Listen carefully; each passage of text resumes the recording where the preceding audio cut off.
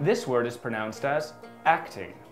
Acting means the activity or profession of performing in plays, films, movies, etc.